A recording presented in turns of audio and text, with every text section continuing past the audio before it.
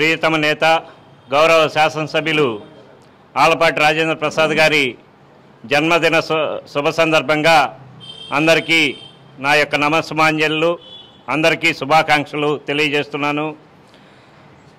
గౌరవ శాసనసభ్యులు నియోజకవర్గంలో ప్రజలందరికీ అందుబాటులో ఉంటూ పార్టీలు కులాలకు అతీతంగా మరి నిజమైన లబ్ధిదారుడు ఎవరున్నారో వారందరికీ ప్రభుత్వ పథకాల ద్వారా లబ్ధి చేకూర్చిన ఘనత గౌరవ శాసనసభ్యుల ఆలపాటి రాజేంద్ర ప్రసాద్ గారిది. అదేవిధంగా ఒక్క తెనాలి నియోజకవర్గంతో లో దాదాపు వెయ్యి కోట్ల రూపాయలతో అభివృద్ధి సంక్షేమ కార్యక్రమాలు నిర్వహించడం జరిగింది.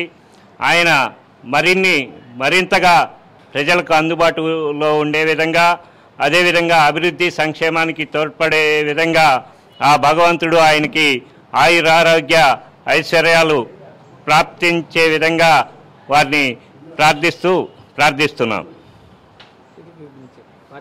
పార్టీ గురించి అంటే-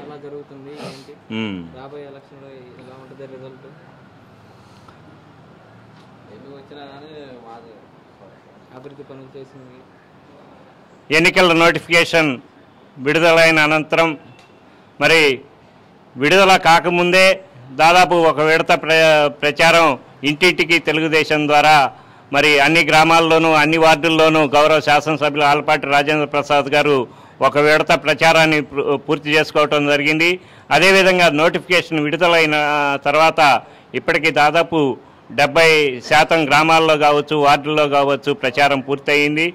అన్ని గ్రామాల్లో అన్ని వార్డుల్లో మహిళలు వృద్ధులు అందరూ మరి యువకులు పెళ్ళుబుకిన ఉత్సాహంతో స్వచ్ఛతంగా ఎటువంటి ప్రలోభాలకు లేకుండా వారంతట వారే ఒక్క పిలుపుతో కదిలొచ్చి ప్రతి గ్రామంలోనూ ప్రతి వార్డులోనూ వే- వేలాదిగా ఈ ప్రచార కార్యక్రమంలో పాల్గొంటూ వారి మోములో తెలుగుదేశం పార్టీ గెలుస్తుంది గెలవబోతుంది అనే ఆనందోత్సాహాలతో మరి ఒక ఉత్తేజకరమైన వాతావరణంతో ప్రచార కార్యక్రమం నిర్వహించబడుతుంది.